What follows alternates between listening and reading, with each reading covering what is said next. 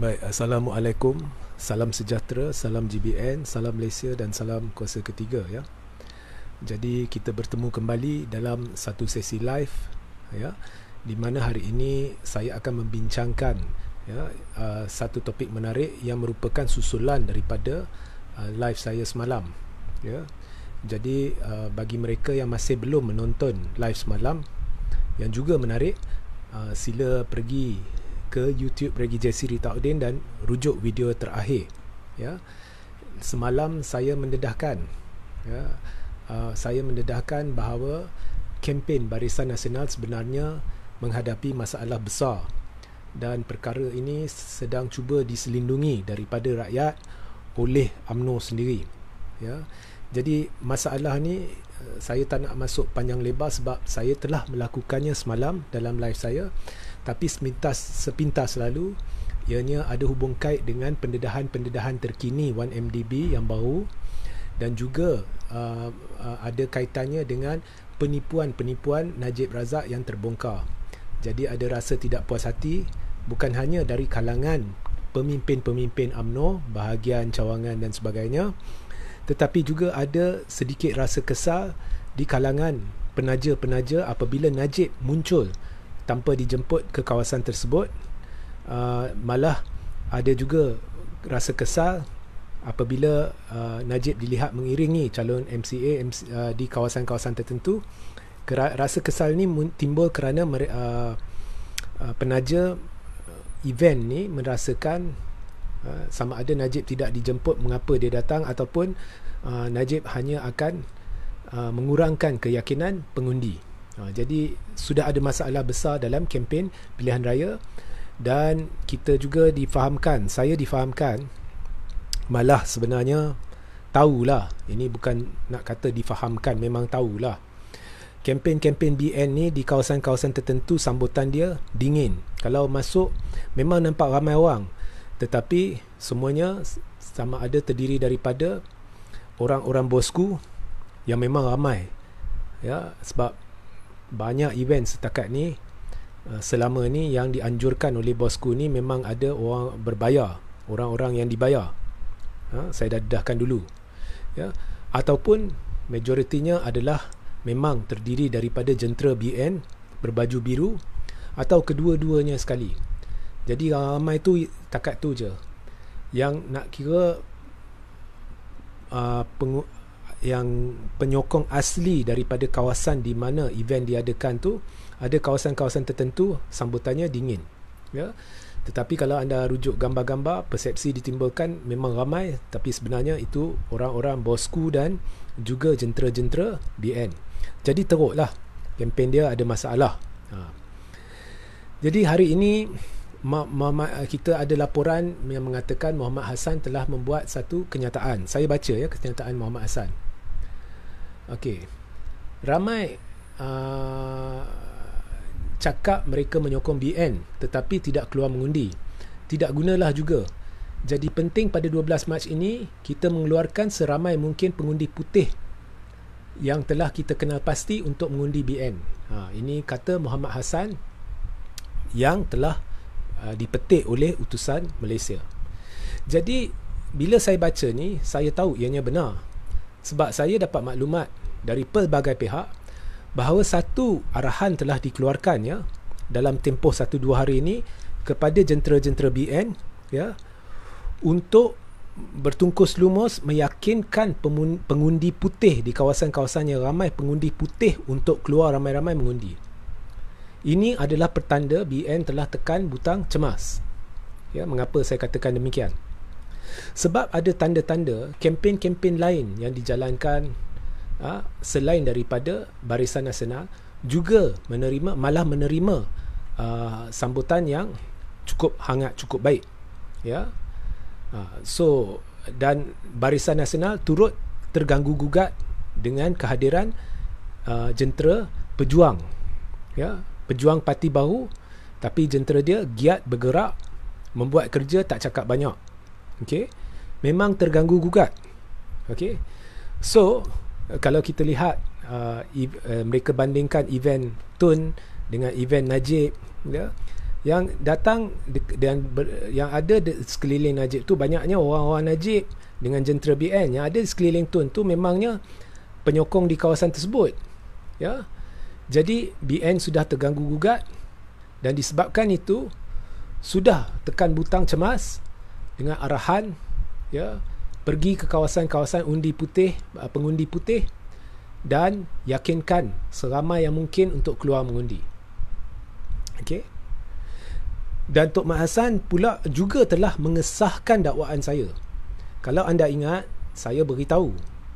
Ya, dakwaan yang dimain-mainkan kononnya, retorik yang dimain-mainkan oleh blogger-blogger pro Najib ni kononnya BN, BN akan tekan untuk adakan pilihan raya umum jika BN menang besar di Johor adalah palsu.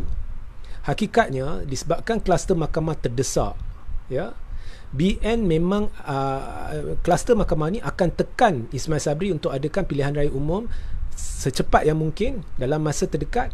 Tidak kira BN menang besar ke kalah teruk di Johor. Ini hakikatnya ya uh, so malah pilihan raya negeri Johor ni juga dicetuskan oleh kluster mahkamah kerana terdesak ya kita lihat mereka ni mabuk pilihan raya dari Sabah uh, kemudian masuk uh, Melaka kini Johor. Okey. Baik, di Melaka tidak ada parti, parti alternatif. Jadi berlaku boikot pengundi.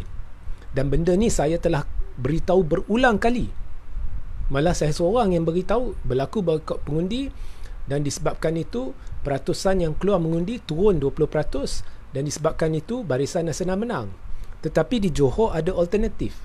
Dan mungkin ya saya tidak pasti tapi mungkin ramai akan keluar mengundi. Dan berdasarkan tanda-tanda yang mereka lihat apabila melihat kempen-kempen di parti-parti lain mereka dah rasa cemas dan mereka dah suruh jentera mereka untuk pergi ke kawasan-kawasan di mana ramai pengundi putih yakinkan mereka wajib keluar mengundi. Ya. Ha, cuba fikir. Ya, cuba fikir. Kalau benarlah BN kata dia ni kuat, Najib kata ini kubu kuat, ya. Tambah pula ada banyak penjuru sampai 5-7 penjuru kalau ikut formula lama BN confirm menang ya jadi buat apa nak cemas nak nak nak tekankan kepada jentera pergi semua kawasan putih yakinkan mereka tolong keluar mengundi. Memang dengan uh, dalam situasi di mana kubu kuat kemudian andai kata benar apa yang BN kata dia kuat kemudian andai uh, apa tu ada 5 hingga 7 penjuru memang confirm BN akan menang. Jadi mengapa mereka cemas? Mengapa mereka kerahkan jentera-jentera mereka dengan cara yang cemas pergi untuk yakinkan semua pengundi putih. Ha, so di situ dah nampak apa yang saya katakan ni uh, dalam live-live yang lepas mungkin benar. Ya. Formula kononnya kalau banyak penjuru memihak kepada BN tu formula lama. Ha, saya ringkaskan, saya ulang tapi saya ringkaskan sebab ada permintaan untuk saya ulang teori ini. Iaitu kalau dulu-dulu 80-an, 90-an, awal 2000-an ya. Kalau dulu-dulu pengundi ni ada dua jenis, yang sokong BN atau barisan dan yang tolak barisan. Yang tolak barisan ni dia tidak ada uh, fokus kat mana-mana parti. Tapi yang sokong BN ni memang confirm BN.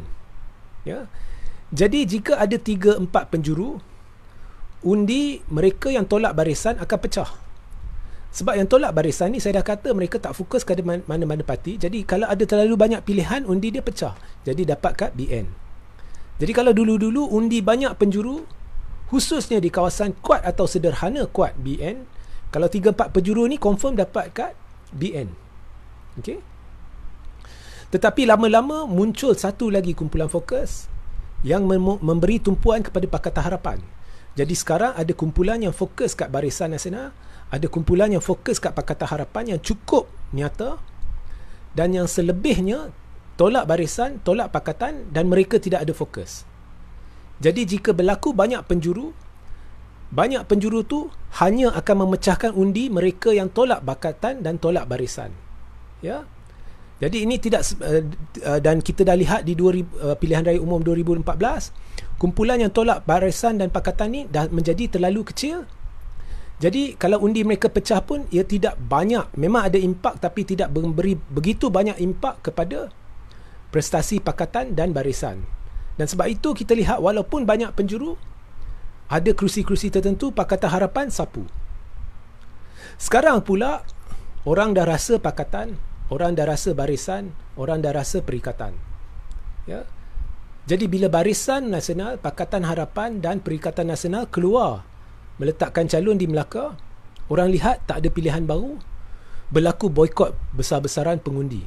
Sebanyak 20% penurunan jumlah yang keluar mengundi. Jadi kita tidak pasti tetapi ini adalah tanda mungkin ada sekumpulan besar pengundi dah fras dengan barisan dan pakatan dan mereka hanya tertunggu-tunggu kuasa ketiga muncul atau blok ketiga atau blok alternatif. Ada juga yang fras tapi mereka keluar juga mengundi. Memandangkan tidak ada pilihan, undi mereka berpecah antara barisan perikatan dan Pakatan Harapan. Tetapi di Johor muncul kuasa ketiga. Sekarang ni uh, pejuang dan warisan dianggap kuasa ketiga di Johor. Jadi pilihan raya negeri Johor ni penting sebab kita nak tahu benarkah ada sekumpulan besar rakyat Malaysia yang tertunggu-tunggu alternatif atau kuasa ketiga dan berapa ramai yang duduk atas pagar yang dulu keluar mengundi mereka terpaksa pilih bakatan ke barisan kerana tidak ada pilihan. Akhirnya mereka akan beralih pergi ke kuasa ketiga. Ini yang kita nak lihat di Johor. Tapi syaratnya ramai kena keluar mengundi. Dan jika ramai keluar mengundi akan berlaku situasi di mana ada kumpulan fokus yang hanya menumpu barisan ada kumpulan fokus pengundi yang hanya menumpu pakatan, ada kumpulan fokus yang hanya menunggu menunggu uh, menumpu perikatan dan ada kumpulan fokus yang tercari-cari alternatif. Yang baki dia terlalu kecil. Jadi jika berlaku 5 7 penjuru sebenarnya tidak ia hanya mem, akan memecahkan undi baki yang kecil tu dan sebenarnya tidak akan memberi impak yang besar atau nyata pada blok ketiga pada pakatan pada Perikatan dan Barisan Nasional. Kesimpulannya, jika banyak penjuru, langsung tidak bermakna ianya akan memihak kepada Barisan Nasional. Justru, apabila sekarang ni Barisan Nasional, tapi Barisan Nasional tahu rakyat tidak faham benda ni, rakyat masih fikir formula lama, iaitu bila banyak penjuru, ianya memihak barisan. Jadi banyak proksi diletakkan dalam pilihan raya sebagai calon supaya ada banyak penjuru supaya rakyat yang masih terikut-ikut formula lama tu dia rasa oh terlalu banyak penjuru jadi mesti barisan menang jadi mereka yang tak sokong barisan ni malah nak keluar mengundi. Jadi peratusan yang keluar mengundi rendah. Bila peratusan yang keluar mengundi terlalu rendah seperti di Melaka ianya akan memihak kepada barisan. Tetapi di Johor nampaknya rakyat sudah bersemangat. Ya? Ramai yang keluar ceramah-ceramah parti-parti lain. Dan barisan sudah tekan butang cemas dia kerah jentera dia pergi ha, yakinkan kawasan-kawasan undi putih. Keluar undi. Ya. kalau benar mereka rasakan diri mereka kuat dan kalau benar banyak penjuru ni nak uh, akan memihak pada barisan buat apa beri arahan tu? Jadi barisan dah peka, uh, tekan butang cemas dan kenyataan Mak Hassan mengesahkannya.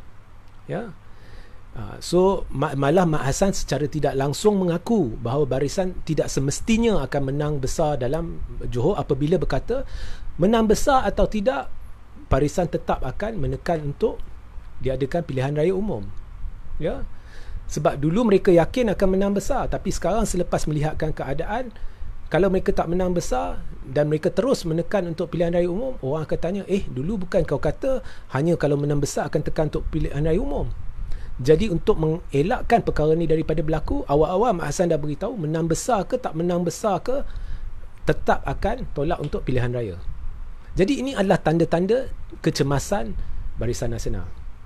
Baik, sebelum anda boleh mula bertanya soalan dari sekarang, tetapi uh, sepintas lalu lah saya nak beritahu dengan jelas jika tak ramai keluar mengundi pilihan raya ni bagi mereka uh, kita boleh tolak tepi tak ada makna ianya tidak akan mencerminkan keputusan PRU 15 kerana tak ramai keluar mengundi syarat untuk kita membandingkan pencapaian barisan nasional dengan PRU 14 ialah jumlah yang keluar mengundi mesti sama atau lebih. Di PRU 14 di uh, di Johor 85% keluar. Jadi di PRU uh, PRN Johor kali ini 85% atau lebih perlu keluar baru kita boleh uh, benar-benar ambil serius keputusan ni. Kalau tak cukup keluar, saya tak kisah penyokong Najib nak kata apa ke, penyokong BN nak kata apa ke, siapa nak kata apa ke, keputusan ni kita boleh tolak tapi tak ada makna. Ya. Cuma satu, kalau tak ramai keluar, mungkin mereka sedang tertunggu-tunggu PRU. Dan saya berpendapat bahawa kenyataan Mak Hassan yang memberitahu bahawa BN menang kecil ke besar ke mereka akan tekan untuk PRU adalah helah untuk menyebabkan orang fras dan berkata kalau dah nak tekan butang untuk adakan PRU lepas PRN Johor buat apa kita nak keluar undi dua kali? Baik kita tunggu PRU jadi ini untuk mengelakkan ramai orang keluar mengundi sebab BN takut kalau ramai orang keluar mengundi BN akan kena teruk jadi mesej saya kepada rakyat Johor ramai-ramai keluar mengundi pecah rekod kali ini jangan setakat 85% kalau boleh kita capai 90%. Ya. Ha, ini helah. Ha, mereka kata ya memang benar pun BN menang ke tak menang mereka akan tekan untuk ada KPRU. Tetapi mengapa umum sekarang? Sebab rakyat mungkin fikirlah, oh kalau dah nak PRU dekat buat apa nak keluar sekarang kan? Ha, ini helah. Jadi jangan jangan sekali-kali ha, anda diperbodohkan oleh pemimpin-pemimpin kleptokrat ni keluar ramai-ramai mengundi ya dan anda saya dah beri isyarat anda boleh mula bertanya sekarang sementara menunggu soalan anda saya ada satu pemberitahuan pada 9 hari bulan Mac ni ya hari ini 6 hari bulan kot ya jadi pada 9 hari bulan Mac ni pada pukul 9 malam di YouTube Regi Jesse Ritaudin saya secara peribadi ya dalam kapasiti peribadi ada satu mesej, ada satu perutusan kepada rakyat khususnya pengundi Johor. Jadi bersama-sama saya pada pukul 9 malam uh, pada uh, pada pukul 9 malam uh, pada 9 hari bulan Mac ni ya. 9 hari bulan Mac 9 malam di YouTube Regi Jesse Ritaudin dan bersama-samalah uh, mendengar uh, mesej saya ya pada hari tersebut. Ya, jadi anda ada soalan, anda boleh bertanya sekarang. Din Mahat, apa akan terjadi kalau BN menang dengan kelebihan satu kerusi lagi? Ha, satu kerusi itu kita ambil, kita hentak kat kepala Menteri Besar baru. Ha, lepas tu, lepas dah hentak kat kepala Menteri Besar baru, kita tanya dia, apa macam kerusi baru, uh, satu kerusi ni rasa dia bila dah kena hentak, lain ke kalau berbanding dengan sebelum PRN Johor yang ada satu kerusi? Ya. Ma, ma, ma, maliki Mikhail tetapi logik kalau buka BN menang memang menang, menang PRN rakyat akan fikir BN adalah parti popular semasa PRU itu sebab PRN ni penting Okey, persepsi tu saya saya setuju. Semua ni untuk timbulkan persepsi. Melaka pun mereka timbulkan persepsi. Mereka bernasib baik sebab tidak ada kemunculan kuasa ketiga jadi berlaku boikot pengundi. Okey, so Uh, dan PRK PRK yang berlaku masa wabak penyakit menular tu ada banyak kekangan, banyak SOP jadi kat situ pun banyak uh, PRK peratusan yang keluar mengundi terlalu rendah telah memihak kepada BN. Jadi mereka menggunakan mengambil kesempatan daripada wabak penyakit. Kononnya mereka ni berjiwa rakyat, berjuang untuk rakyat tapi sebenarnya mereka mengambil kesempatan daripada wabak COVID untuk mengadakan PRK PRK PRN PRN kerana tahu kurang akan keluar mengundi dan bila BN menang besar mereka akan timbulkan persepsi BN ni kuat jadi permainan persepsi itu saya tak nafikan tetapi apa pun jika PRU 15 terlalu ramai keluar mengundi atau peratusan yang keluar mengundi tinggi BN saya dapat uh, ah, PRN Johor saya tidak akan buat ramalan tapi PRU 15 saya akan beritahu confirm confirm kalau ramai keluar mengundi BN tak ada can perikatan tak ada can Okay. Andy Liu uh, Najib gunakan isu KWSP one off untuk pancing undi uh, Najib sebenarnya sekarang nama dia dah busuk di Johor Percayalah Percaya Saya dah beritahu semalam Sila rujuk live semalam kempen BN menghadapi masalah besar sebab rakyat dah mula percaya Najib penipu. Bukti amat nyata. Anak dia dah jerat dia sendiri, anak cakap lain berkenaan Tim Lesnar, Najib cakap lain. Ya, kemudian Najib tipu berkenaan dengan pembayaran hutang yang dah sudah terbongkar. Jadi orang tahu Najib penipu. Sekarang ni Najib nak pancing undi menggunakan isu KWSP. Najib selalu sebut kerajaan Perikatan Nasional. Ini satu penipuan lagi. Di ruang tajuk lepas live ni rujuk kepada satu artikel yang telah saya tulis iaitu surat terbuka saya kepada Najib Razak. Ya, anda baca uh, tekan link tu dan baca surat saya kepada Najib Razak yang menceritakan penipuan Najib ni. Ya, Najib penipu. Dia nak pancing undi dan dia tuding jari kat perikatan.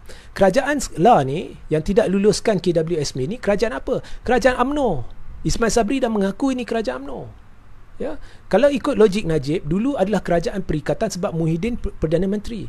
Sekarang Perdana Menteri adalah atas pencalonan kluster mahkamah iaitu Perdana Menteri AMNO. Jadi ini adalah kerajaan AMNO. Dan kita lihat kerajaan AMNO sentiasa mudarat negara. Kalau dulu sebelum PRU 14, harga barang melonjak, kos sara hidup meningkat, rakyat seksa. Lah ni kos uh, sara hidup berlipat kali, kali ganda lebih tinggi rakyat berlipat kali ganda lebih seksa jadi Najib nak pencing undi ni saya rasa tak akan berjaya sebab kalau one of KWSP ni yang bertanggungjawab yang menghalangnya adalah kerajaan AMNO adalah Perdana Menteri AMNO siapa yang calonkan Perdana Menteri ni? Najib Zahid Amidi kluster mahkamah. Ya fikir fikirkanlah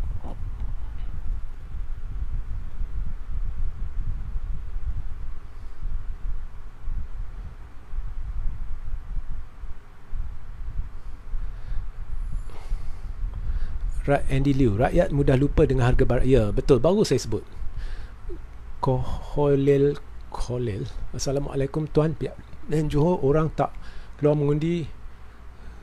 Duit KWSP belum lulus tak ada guna mengundi. Uh, taklah. Saya baru jelaskan berkenaan dengan KWSP tapi terima kasih ya. Jason Wong kerana kenapa follower Najib di Facebook kebanyakannya bingai-bingai fake account ke tu? Anda boleh rujuk sendiri saya cabar Jason Wong. Pergi luangkan masa lebih kurang sejam masuk setiap profil yang komen kemudian lihat profil tu. Anda akan dapati hampir 90% profil mencurigakan. Ya seperti laskar cyber ubah upahan dan sudah pun keluar di uh, laporan-laporan menyatakan majoriti atau ramai pengikut Najib atau penyokong Najib di Twitter adalah fake account. Ya. Nur Muhammad Nur Luqman bapa perosak Malaysia Najib and Muhyiddin. Uh, bagi saya Najib bagi saya lah. Najib bapa temberang. Uh, Najib adalah bapa temberang Malaysia. Muhyiddin memang ada bawa banyak kemusnahan. Ya. Uh, lebih lagi ni saya akan jelaskan pada 9 bulan, hari bulan dan saya ingin mengingatkan anda pada 9 hari bulan pada pukul 9 malam di YouTube Regi Jesse Ritaudin bersama saya saya ada satu message berutusan penting buat rakyat khususnya di Johor. Dan uh, saya berjanji pada masa itu kita buang politik-politik yang kita bincang selama ni pendedahan ni semua tepi. Kita buang tepi. Ini adalah dari hati ya. Uh, dan saya galakkan semua orang berbuat demikian ya anda pun ada Facebook masing-masing berbincanglah dengan penyokong anda uh, audience anda dari hati. Sekurang-kurangnya satu mesej satu perutusan dari hati ya. Baharin Abu Bakar Assalam RJ adakah akan ada penipuan dalam PRN ni contoh seperti blackout. Saya tidak tahu. Uh, itu kena tanya Anwar Ibrahim sebab Anwar Ibrahim pakar blackout. Uh, kalau anda ingat dia buat perhimpunan besar-besaran blackout 505 Kemudian dia kata ada berkotak-kotak bukti sampai hari ini kita tak lihat kotak bukti itu. Jadi babak blackout ni kena tanya Anwar. Ya. Musang berjanggut. Hang tu temberang. Hmm, tak tahulah. Ya. Uh, tak tahu anda ber, bermesej kepada saya ke pada orang lain. Tapi nama pun musang berjanggut. Dirman Bustan, seandainya BN menang PRN Johor, adakah PRU akan diadakan selepas tu? Bila agaknya? Saya baru jelaskan anda rujuk awal sikit yang ya terima, terima kasih dia Dirman Zakaria Abbas betul awak cakap tapi rakyat Johor bijak dia tahu kerajaan di tangan rakyat okey jadi setakat itu saja rakyat Johor perlu keluar ramai-ramai mengundi BN cemas kalau peratus yang keluar mengundi tak ramai tak uh, atau rendah kerana orang tertunggu-tunggu PRU maka keputusan Johor ni tidak kira apa keputusannya bagi saya tak penting ya. Jadi uh, pastikan anda rujuk ya link yang saya akan letakkan di ruang tajuk sebentar lagi. Khususnya link kepada surat terbuka saya kepada Najib sertai juga saluran telegram saya Regi Jesse Ritaudin di mana saya membuat banyak pembongkaran dan sentiasa layari thethirdforce.net sehingga kita berjumpa esok atau lusa Assalamualaikum, salam sejahtera, salam GBN, salam Malaysia dan salam kuasa ketiga.